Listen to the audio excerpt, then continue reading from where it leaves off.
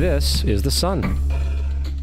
As far back as 10,000 BC, history is abundant with carvings and writings reflecting people's respect and adoration for this object.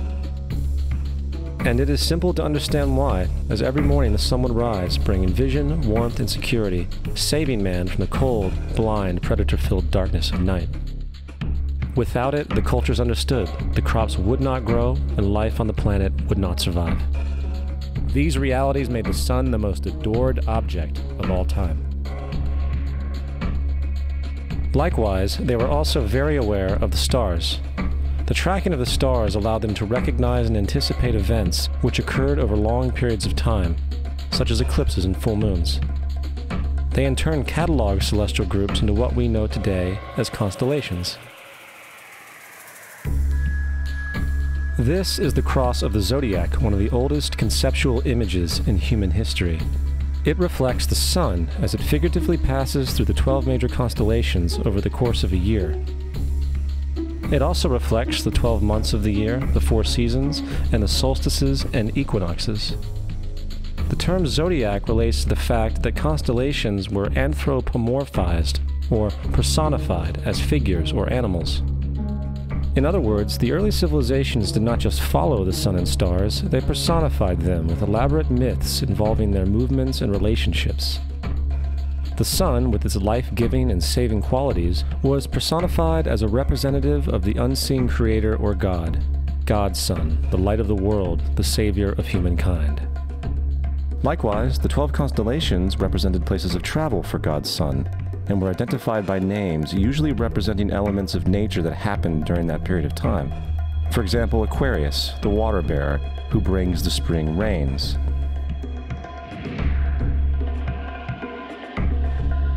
This is Horus.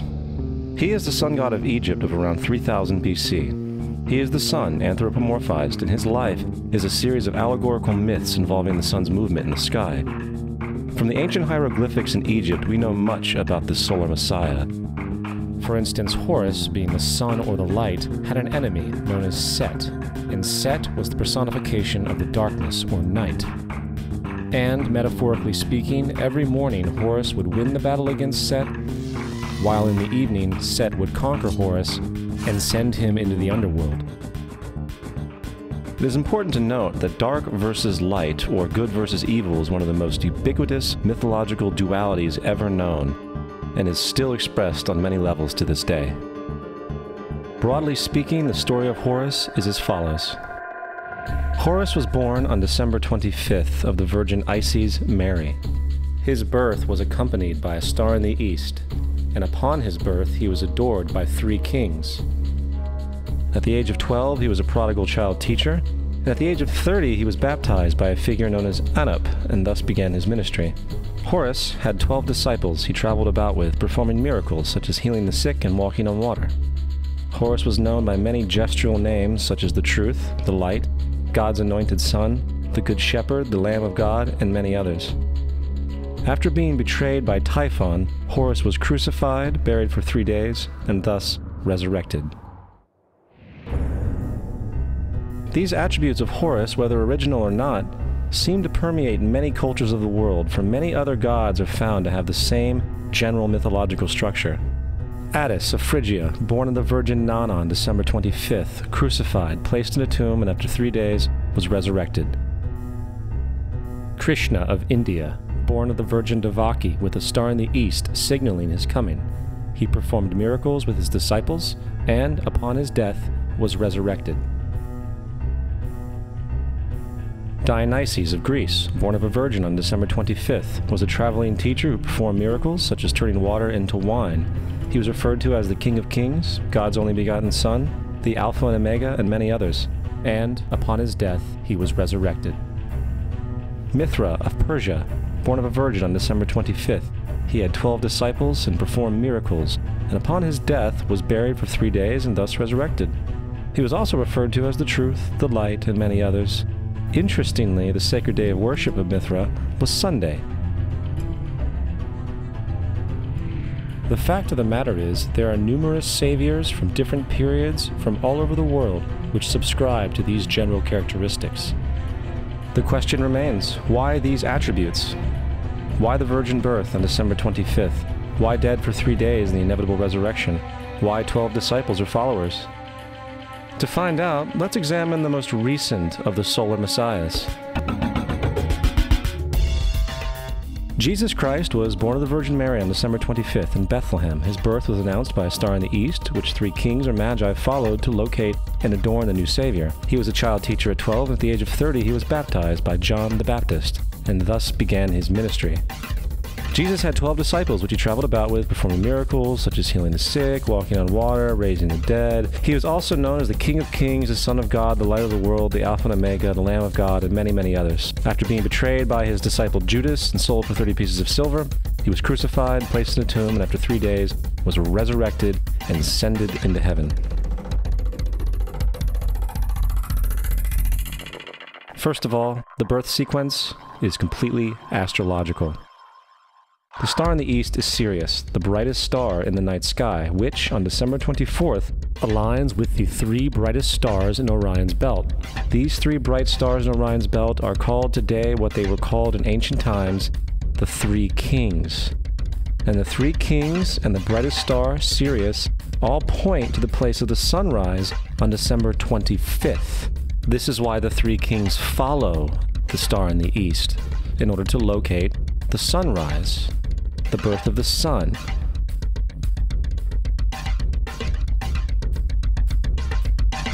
The Virgin Mary is the constellation Virgo, also known as Virgo the Virgin. Virgo in Latin means virgin.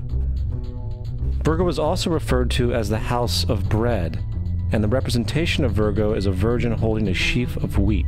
This house of bread and its symbol of wheat represents August and September, the time of harvest. In turn, Bethlehem, in fact, literally translates to house of bread. Bethlehem is thus a reference to the constellation Virgo, a place in the sky, not on Earth. There's another very interesting phenomenon that occurs around December 25th, or the winter solstice. From the summer solstice to the winter solstice, the days become shorter and colder. And from the perspective of the northern hemisphere, the sun appears to move south and get smaller and more scarce. The shortening of the days and the expiration of the crops when approaching the winter solstice symbolize the process of death to the ancients. It was the death of the sun. And by December 22nd, the sun's demise was fully realized, for the sun, having moved south continually for six months, makes it to its lowest point in the sky. Here a curious thing occurs.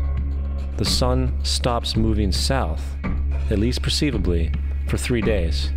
And during this three day pause, the sun resides in the vicinity of the Southern Cross, or Crux, constellation. And after this time, on December 25th, the sun moves one degree, this time north, foreshadowing longer days, warmth, and spring. And thus it was said the sun died on the cross, was dead for three days, only to be resurrected or born again. This is why Jesus and numerous other sun gods share the crucifixion, three day death, and resurrection concept. It is the sun's transition period before it shifts its direction back into the northern hemisphere, bringing spring and thus salvation.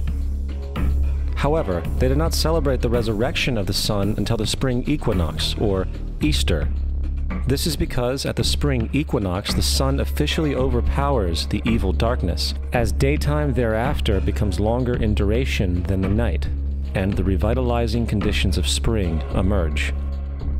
Now, probably the most obvious of all the astrological symbolism around Jesus regards the 12 disciples. They are simply the 12 constellations of the zodiac, which Jesus, being the sun, travels about with, In fact, the number 12 is replete throughout the Bible.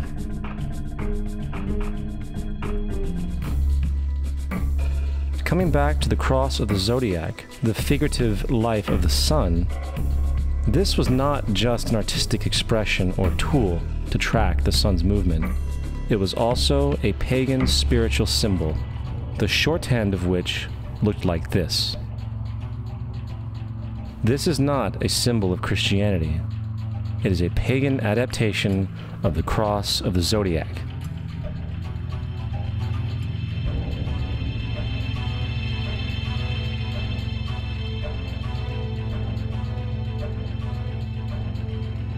This is why Jesus in early occult art is always shown with his head on the cross, for Jesus is the Sun, the Son of God, the light of the world, the risen Savior who will come again, as it does every morning, the glory of God who defends against the works of darkness as he is born again every morning and can be seen coming in the clouds up in heaven with his crown of thorns or sun rays